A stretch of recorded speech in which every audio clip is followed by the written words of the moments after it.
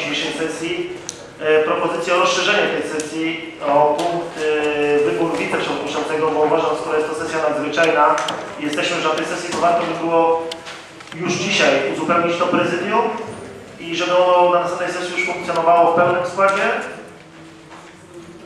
I myślę, że to by było najsensowniejsze rozwiązanie dnia dzisiejszego.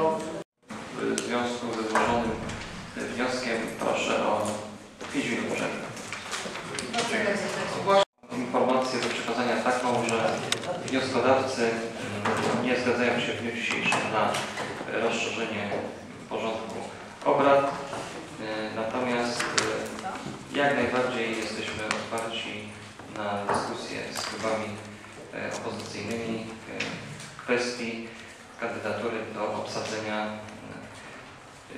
wiceprzewodniczącego Rady Miejskiej. E, Sądzę, że na najbliższej sesji, która jest planowana 22 lutego, tego wyboru dokonamy. Dziękuję. Dziękuję bardzo. Przechodzimy do punktu drugiego. Rozpatrzenie projektu uchwały Rady Miejskiej w Jarocinie w sprawie przyjęcia rezygnacji radnego z funkcji przewodniczącego Rady Miejskiej w Jarocinie. Proszę o podniesienie ręki.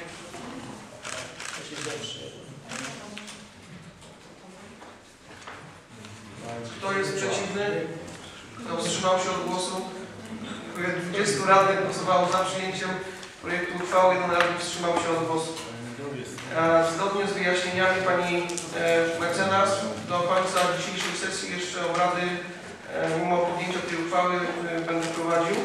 Dlatego Sytuacja miała miejsce na pierwszej sesji tej kadencji Rady Miejskiej. Słowa pana Rajmunda Walaszyńskiego. Zaglądam się obowiązkom przewodniczącego Komisji Skrutacyjnej o, czyli tak jak dzisiaj. Chciałbym oświadczyć, że po dość długich negocjacjach doszliśmy do porozumienia. Z porozumienia z pozostałymi klubami Rady Miejskiej. Treść porozumienia w zasadzie jest dość krótka. Mianowicie osiągnęliśmy konsensus. Myślę, że bardzo dobrze wróży to na przyszłość. Tak, Szanowni Państwo, osiągnęliśmy porozumienie, które zakłada, że Klub Ziemi Jarocińskiej, jako ten, który jest największy i ma najwięcej głosów w Radzie Miejskiej, obsadzi stanowisko przewodniczącego Rady Miejskiej. I tu kandydatem będzie pan Marek Tobolski.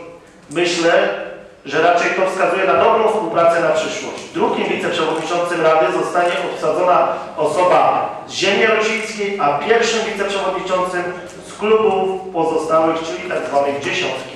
I w tym miejscu chciałbym zaproponować kandydaturę pani Katarzyny Szymkowiak radnej, która jest drugą kadencję radną, społecznika, osoby działającej dla dobra i nas wszystkich, dla pokazującą nową twarz tej rady, nową, nowe spojrzenie na otaczającą nas rzeczywistość. I to jest kandydatura klubów SLD, PSL i Prawicy. Dziękuję bardzo. Żebyśmy się dobrze zrozumieli. To jest kandydatura na przewodniczącego Rady Miejskiej. A w jakim jesteśmy teraz punkcie, panie Nie, przewodniczący? nie, chwileczką Ja przeczytałem o treść, która miała miejsce z protokołu z pierwszej sesji, Okej, a na przewodniczącą podają kandydatur. Dziękuję bardzo. Czy są inne kandydatury? Nie widzę. No chyba, że, przepraszam jeszcze, no chyba, że wracamy do punktu wyjścia i chcecie pani Kasie zaproponować wiceprzewodniczącego. Panie, panie radny, e, czy są inne kandydatury? Nie widzę, w związku z tym zgodnie z kolejnością zgłoszeń proszę kandydatów, zgłoszonych kandydatów o oświadczenie, że wyrażają zgodę na kandydowanie. Tak, wyrażam zgodę. Tak, wyrażam zgodę. Dziękuję bardzo. Bardzo proszę Komisję Skutacyjną o przygotowanie karty do głosowania. Ogłaszam. Nie, to było Ja poproszę kolejno pana Waluszyńskiego Rajmunda. Pani Danuta Maćkowiak.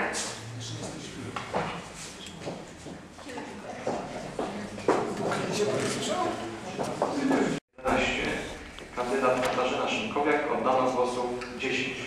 Wobec powyższego Komisja Skrutacyjna stwierdza, że kandydat radny osoba Krystyna uzyskał wymaganą liczbę głosów określoną w punkcie trzecim i został wybrany na przewodniczącego Rady Miejskiej w Jarocinie.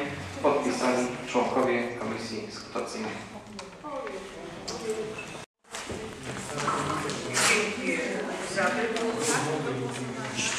Gratuluję Pani Kasi powiem, że tak dużą liczbę głosów otrzymała. I chciałabym, abyśmy pracowali dla dobra mieszkańców tego miasta. W spokoju, bez niepotrzebnych zupełnie dyskusji, bez kontrowersji, aby mieszkańcy wiedzieli, że wybrali osoby, które dla nich coś robią.